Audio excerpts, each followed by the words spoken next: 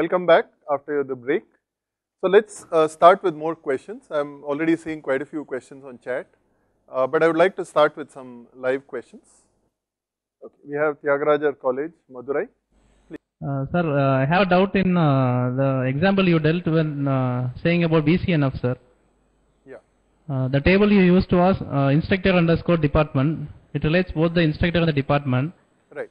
But I think that uh, decomposition will happen when the relation uh, crosses second normal form itself. Okay. So I think the question you're saying is, uh, if we wanted second normal form, would we have decomposed that particular relation in the same way? Uh, did we have to uh, wait for uh, 3NF or uh, BCNF? Um, in this particular case, uh, second normal form, like I said, in our book we don't even bother about it uh, because we feel it's just of historical interest. Somebody defined it at one point. Uh, if you look at research papers, there are thousands and thousands of such concepts which people have defined at some point. And at some point you want to say, you know, please don't burden students with all these unnecessary concepts. It will just confuse them and, uh, you know, won't lead to anything uh, useful coming out of it. So the first thing I would say is just forget about 2NF. If you want unnecessary things, by all means go read the literature to read, um, you know, not just thousands, but probably uh, tens of thousands of papers have been written on uh, databases, overall normalization, so forth. And there are many, many concepts out there which are not so important and should be best ignored. Uh, but since you have asked this specific question, I think in this particular case, it's not a partial key dependency. Uh, I think it's a transitive dependency because we had uh, ID to department and then department to uh, something else. Uh, so I think in this case, um, its second normal form wouldn't have uh, played any role. It would have already been in 2NF. Okay, let's move to some other question. Doubt in order by clause, sir. Uh, if there are some two uh, attributes in the order by clause, then uh, how will the result get sorted? Based on the second attribute or based on the first attribute? That's actually fairly straightforward. Uh, whenever you sort by multiple things, there is a standard uh, lexicographic sort order which uh, is very uh, basic in computer science and in real life also. So when you uh, sort students by let's say class and then within each class by roll number, this is exactly what you're doing. You're sorting on two attributes, class and then roll number. And databases, uh, SQL in particular, of course allows you to sort on two attributes. So the first thing uh, will, the initially it will be sorted on the first attribute. Now there may be many tuples with exactly the same value for the first attribute, so those are relatively sorted using the second attribute. And SQL gives a lot of control over this. You can say the first one should be ascending, the second one should be descending and so on and so forth. I hope that answers your question. Uh, at this point, I would like to request uh, more questions on uh, the current topic, which is uh, servlets and web apps. So please try to restrict your questions to this area. Uh, the next question is, what is the difference between the get and the post method? So the basic difference is the get method passes its parameters by uh, adding extra stuff to the URL itself. So it is explicit in the URL. In the post method, the URL does not contain the parameters, but the HTTP protocol has some further uh, back and forth communication through which the parameters are passed.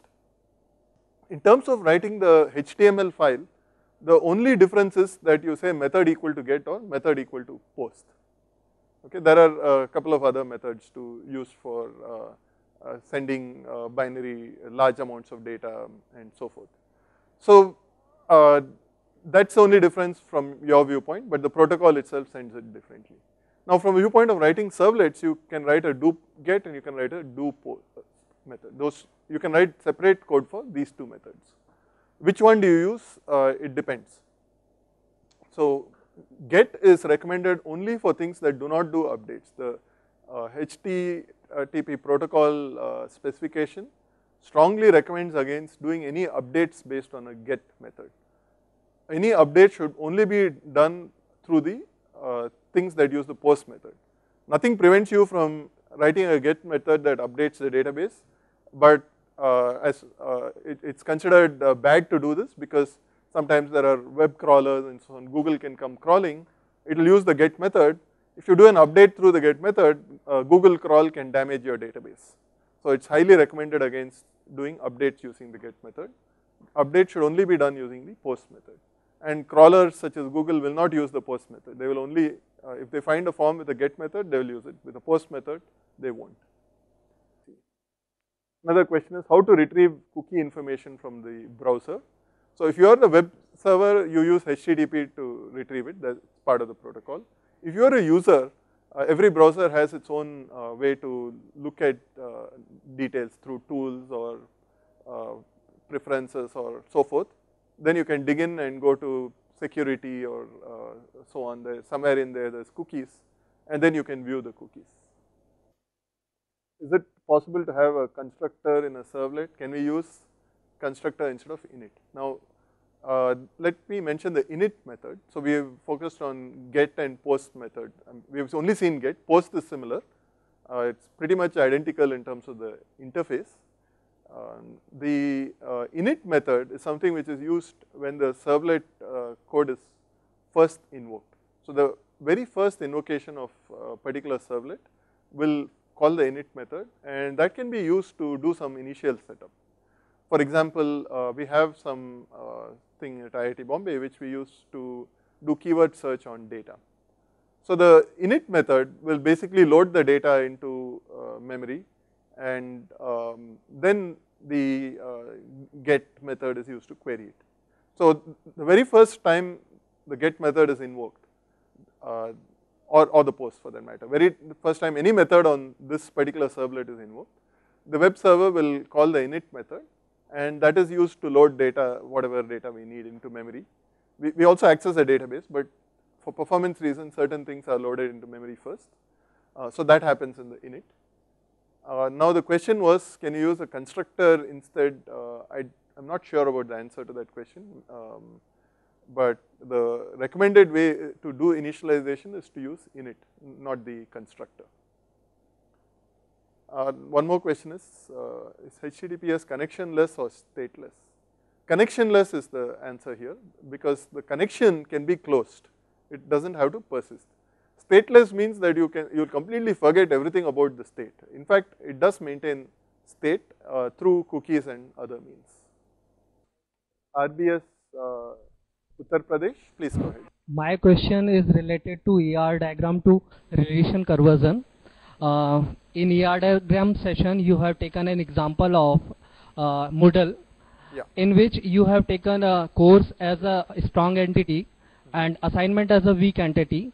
When we take uh, a relationship between course and assignment, in that case, uh, when we convert it to the relation, we uh, course is converted to the relation directly by its primary key. But when we take the uh, assignment, uh, in that case we take the course primary key and discriminator attribute as a key for the weak entity. My question is here is that if both the entities are weak entities, in that case how we will convert it to the relation? Is it possible to convert if both the relations are weak entity? Yeah, I think this question was asked uh, earlier. Uh, In fact, we had an example of that. Uh, so we made assignment a weak entity which is identified by course and then we had submission as a weak entity which was identified by assignment. So that is exactly the kind of uh, situation you are asking about. So the idea is uh, fairly simple. Uh, so first of all, we start with assignment which is identified by a strong entity. So its primary key is the primary key of the identifying entity that is course ID followed by its discriminator. So assignment ID. So the assignment ID now is local within a course. Assignment 1, 2, 3, 4 can exist in each course. So now the assignment is uniquely identified by course ID comma assignment ID. Now a submission is a weak entity identified by assignment which is itself a weak entity. But the rule says take the primary key of the identifying entity. In this case the primary key of assignment is what course ID comma assignment ID. So we take that and then the discriminator of submission to create the primary key for submission. So supposing we had used uh, maybe student ID as the discriminator for submission, then we will take course ID, assignment ID, student ID. Uh, does that answer your question? Sir, another question related to cookies. Uh, sir, uh, when a uh, user sends a request to the server, uh, server sends the response or cookies is stored to the browser. Yeah. Also you mentioned that the server also stores the cookies uh, at, at server side. Yeah. But second time when existing user send the same request, how server knows that these requests came from the previous user? How uh, the uh, browser's cookie is compared with the server's cookie? Uh, first of all, the web server has to tell the browser, please give me the cookie with the following name. Okay, so uh, as I said, a particular web server can only access cookies that it created earlier. So, the first time when you connected, uh, a new uh, session is created. If you use the servlet uh, session uh, API, you'd say request.get session true and a session is created. At that point, the server has would create a cookie and send the cookie to the browser which stores the cookie. You don't see all this, it's happening underneath as part of the HTTP protocol. So now the cookie is stored on the browser. The next time you make a request, uh, the server asks the browser, please send me the cookie with this particular name. It gave a name, I mean the cookie has a name, uh, user info or whatever else the name was.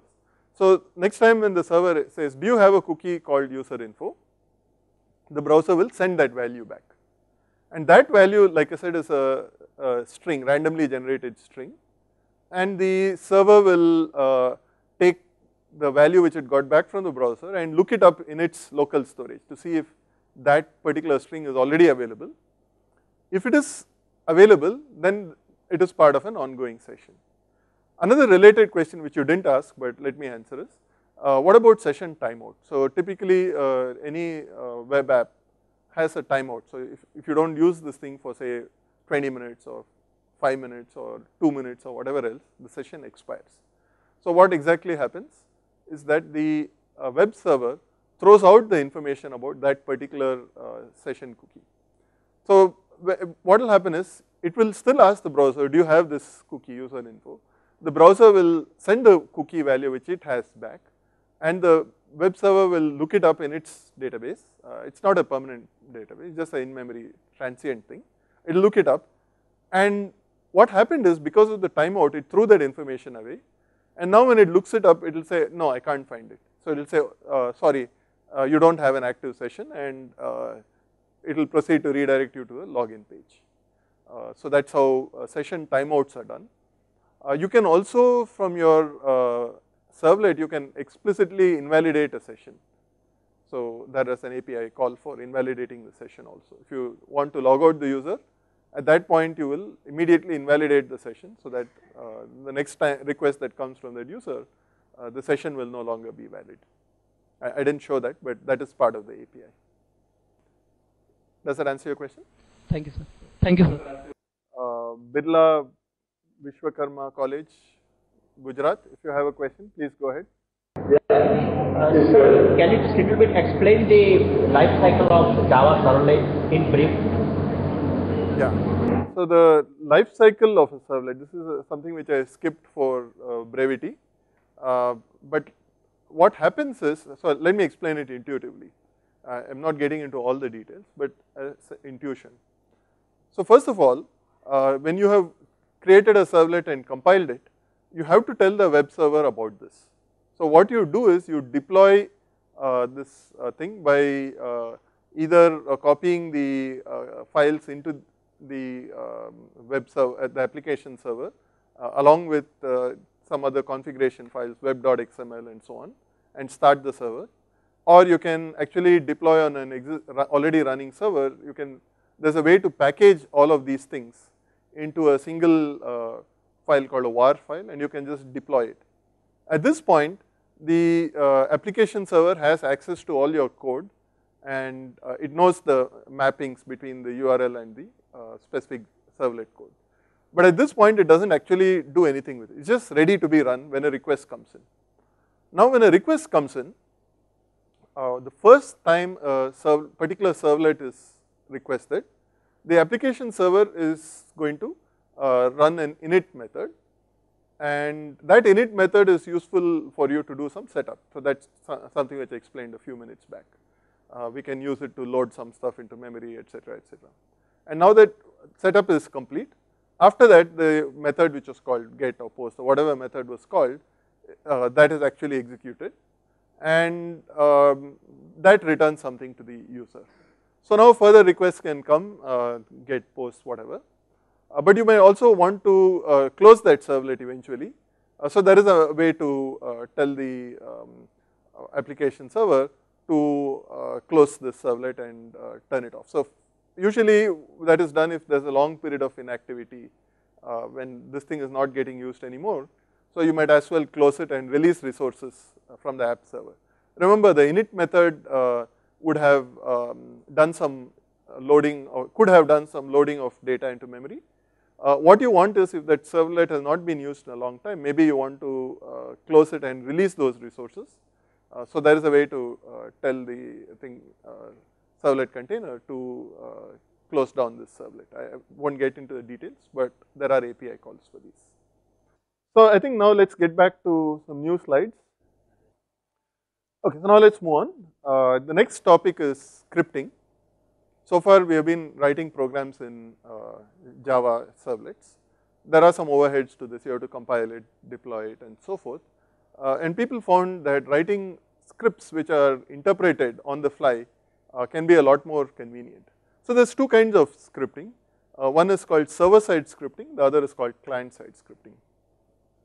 Server side scripting actually came first and uh, it, the initial versions of it actually combined HTML documents with executable code inside it. And there are many alternatives, there is JSP, PHP and many other alternatives for server side scripting. I think I have an example slide here in JSP. So what happens is you write a HTML page. So the assumption is the bulk of your work in design is going to be HTML design. And this can be done by somebody who is not a programmer. Uh, they can use tools for designing HTML pages and create a HTML page. So all this body here, HTML head, body, uh, all this can be created by somebody who doesn't know programming at all. In fact, they don't need to know all that much of HTML for that matter because there are tools to create HTML. Now there are certain parts of this page which are going to be filled with dynamically generated data. Those parts you do the following.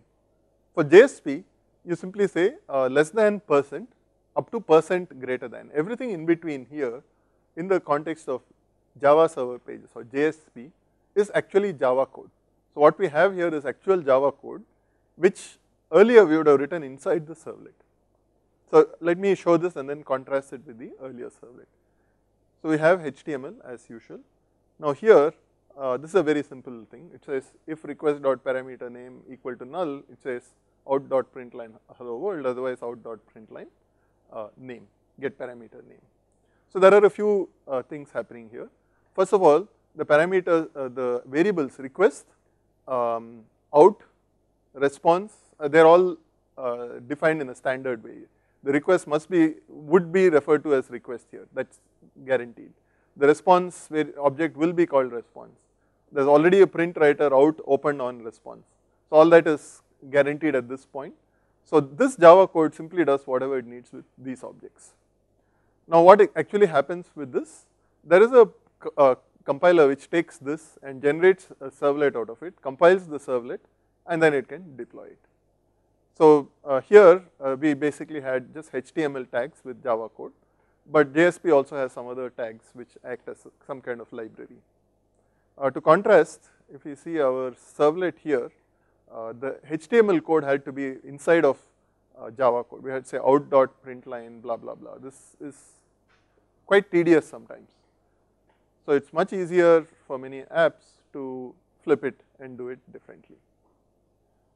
Okay. So let me wrap up uh, with this slide on PHP, then we'll have our visitors come in. So PHP is another very, very widely used scripting language and Moodle is written entirely in PHP and many other very large projects are done in PHP. So this is also a scripting language. So you will see that you have HTML uh, coming up as is, but inside the HTML you will have uh, PHP code written like this, less than question mark PHP up to question mark greater than. Everything in between here is actually code written in PHP. Now this is a code which is interpreted and uh, by a PHP interpreter and this code is uh, there is a language, PHP is a language. So it has uh, some things which you see here. It has if statements, it has echo which prints the thing to the output. It has variables, uh, global variables which are uh, preset. For example, dollar underscore request is a variable that stores all the uh, request parameters that you got. So if you say dollar underscore request, square bracket, and then single quote name, single quote, close square bracket. What is that? Uh, this is actually uh, equivalent to uh, request uh, dot uh, get parameter name. That's equivalent in servlets. Similarly, um, you know, echo goes to the output. There's an isset which says checks if it is defined or not, and so forth. So uh, with that, we will uh, take a break